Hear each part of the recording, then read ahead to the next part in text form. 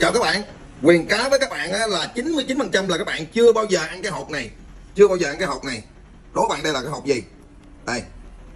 À, rồi quyền bật mí liền nha. Cái này là cái hộp của cây của trái u môi. Đây là trái u môi. Hôm trước quyền có gọc ra ăn cho các bạn xem rồi. Bây giờ quyền ăn cái hộp cho các bạn coi nha. Đây cái hộp này á, lúc mà mình ăn xong nó rất là cứng. Mình bỏ vô nước. Nước ấm vào. Mình ngâm nó khoảng 1 đến 2 ngày thì nó sẽ chóc nó mềm ra. Và chúng ta lấy cái móng tay là chúng ta khởi ta khởi cái vỏ ra mà phía ngoài ra. Đó đây là cái vỏ của màu vàng nè. Ta khởi ra. Chúng ta lột ra. Đó. Thì chúng ta sẽ được một cái hộp rất là dẻo ở bên trong. Ăn sực sực rất là ngon. Cái này hồi nhỏ xưa hồi nhỏ quyền à, thường xuyên là mua cái trái ô môi ăn và lấy cái hộp này ngâm để ăn.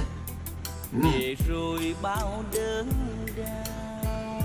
hồi nhỏ một số gia đình đó là lấy cái hộp này nè ta lột ra và ta nấu chè. À, nấu chè thay vì nấu chè đậu thì người ta dùng cái hạt này thay thế cái hạt đậu để nấu chè ăn rất là ngon Ừm, rất là dai Ừm. Ừm. Ừm. các bạn nào muốn ăn không mình chuyển cho